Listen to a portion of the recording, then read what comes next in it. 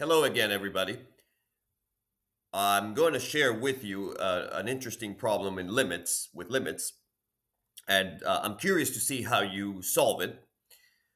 Uh, originally, I was going to make a longer video, as I always have so many things to discuss uh, in the realm of mathematics and morals and all that, but it's actually getting late. It's uh, getting late, at least for me. It's rather late here in Virginia. It's about nine uh, nine twenty in the evening, and tomorrow there's I've got to go to church tomorrow, so early morning service.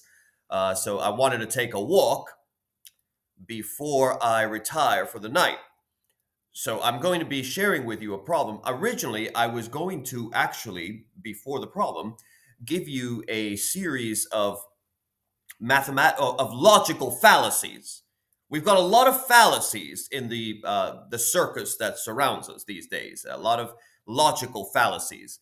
But I, I figured I'll do that in another video because I know some of you some of you correctly uh, tell me that you know if you're going to do a problem on limits, why are you mixing up topics, right? And it, it sort of makes sense. I don't want to distract from the problem itself, but there's always a lot going on. There's always a lot to say, and um, you know I just have a lot on my mind. Usually, I'm always uh, I have a piece of paper. I, I usually have paper where I write down my ideas, and then uh, from there, sort of um, decide what videos, what kind of videos to to prepare for you all.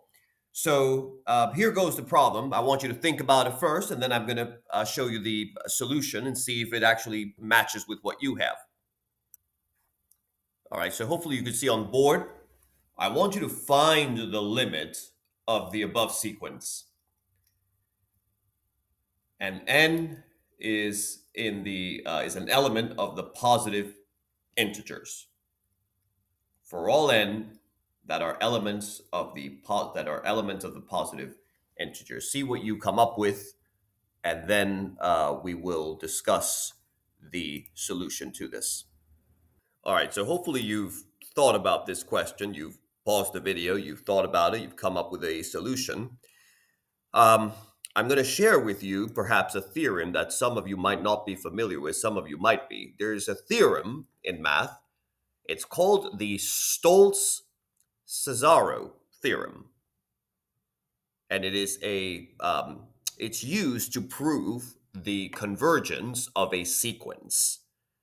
And the it's it's named after uh, Stolz, who was a uh, an Austrian mathematician and um, Cesaro, who was Italian, of course. Uh, and they were, you know, they stated and, and proved it.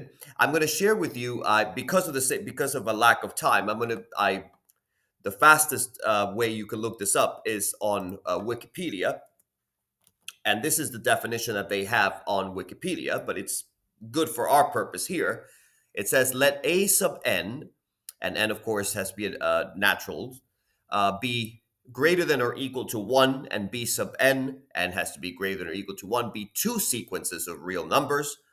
Assume that b sub n is a strictly monotone and divergent sequence that is strictly increasing and approaching positive infinity or strictly decreasing and approaching negative infinity. And we have the following limit.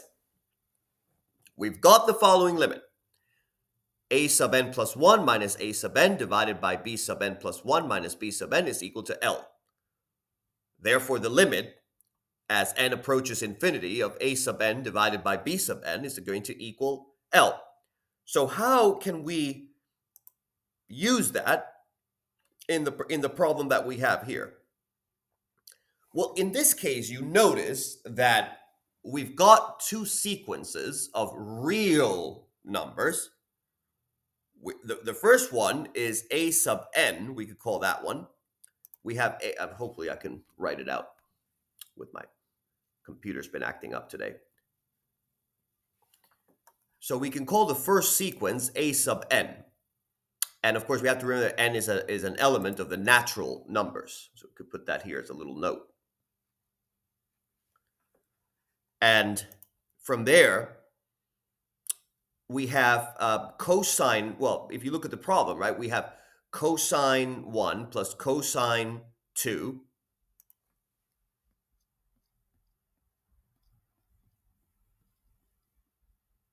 plus, and then the 3, and it goes on, plus cosine n. Actually, I'm going to move this here.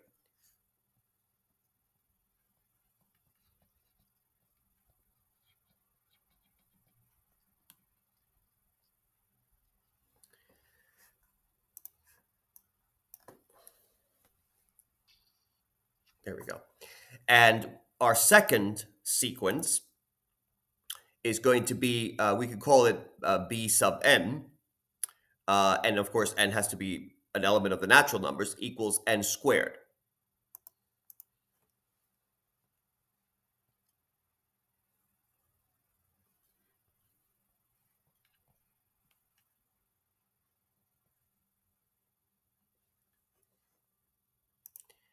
Now we have to find, now, now that we have the limit here, the theorem, we have to find a sub n plus 1 minus a sub n divided by b sub n plus 1 minus b sub n so that we can verify that all of the conditions, we can apply all of the conditions that uh, are applicable to the theorem, right? So let's see if we can do that, right? We have the limits of, the first one is limit as n approaches infinity,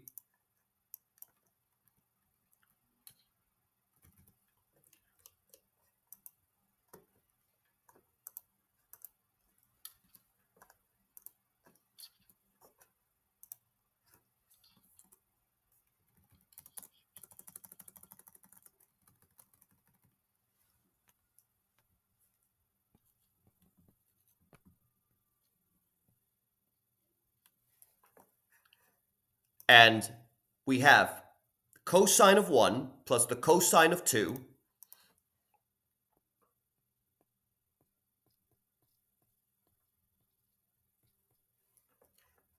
and we have plus the, the three dots plus cosine n.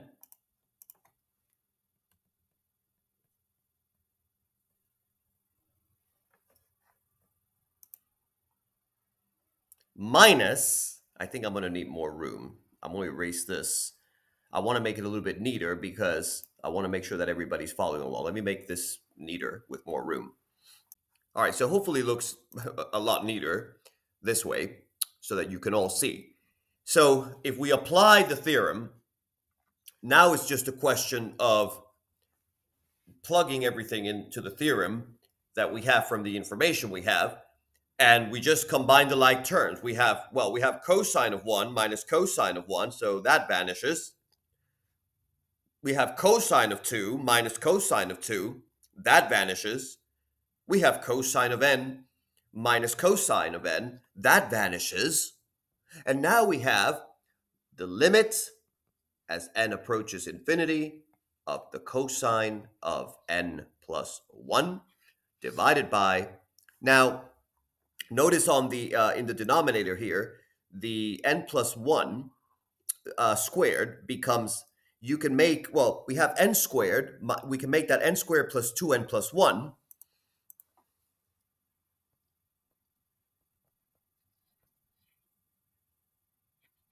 minus n squared. And of course, once again, the n squares cancel out. So we have the cosine of n plus 1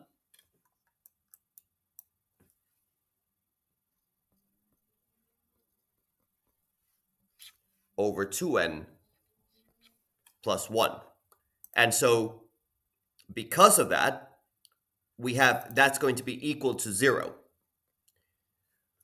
Remember, very important to remember here that the value, by the way, of the cosine of n plus 1 is uh, bounded, right? Because the absolute value of the cosine of n plus 1 has to be less than 1.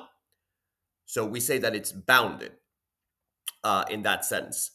So we have the cosine of n plus 1 divided by the uh, 2n plus 1 as the limit approaches infinity. And therefore, we have we have shown that the original uh, problem ex it exists and it is equal to zero. So I hope you found this interesting. You can see that there's a lot of theorems out there that you can uh, apply uh, very easily, and uh, especially when it comes to the uh, limits when it comes to approaching infinity. May you all have a great night. Hopefully, you'll have a good night, restful. And uh, tomorrow, hopefully, I can uh, post, if I have time to uh, think about what I'm going to talk about, to post one of these Sunday moral messages. Thank you all.